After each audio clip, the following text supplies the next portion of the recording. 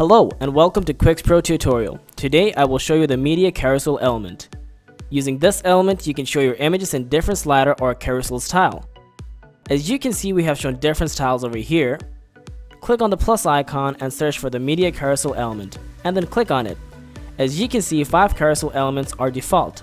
So let's start editing from the first one. Change the title and select an image. Set your alter text from here and the caption from here. Let's edit the other items and it's in the exact same setting for each. To add a new item, click on the plus icon. To duplicate an item, click on this. To delete an item, click on this. Click on columns and select the number of columns you want. You can increase or decrease it. Choose your overlay and then select your overlay animation. There's a range of choices. Click on height and then set your height settings. You can customize it. Increase or decrease it according to your preference. Click on this icon to set appearance for desktop, tablet, and mobile devices. Now, select the image mode from the dropdown.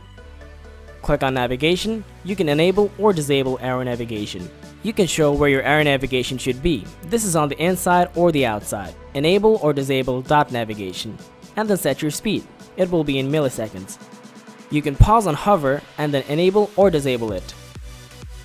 And you can also select enable or disable infinite loop. Set the slide, enable or disable it. Click on the Styles tab and set image alignment.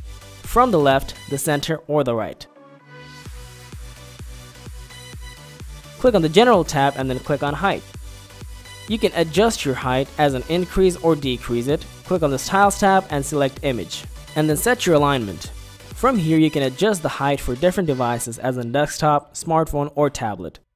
Click on styles and select your overlay color and it will change as you can see. Change the opacity from here. Let's move on to the border option. Select your border type and tweak with the border width. Select your border color and then change the border radius. You can set your box shadow from here and then increase or decrease the spacing.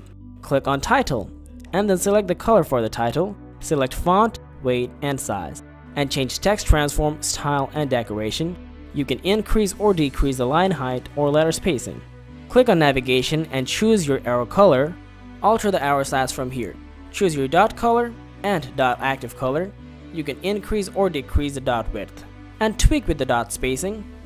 You can also alter the dot margin. Click apply if you're happy with the changes. That's all for Media Carousel Element. Thank you very much for watching and see you on the next video. Create Explainer video at affordable cost. Contact WeVive today.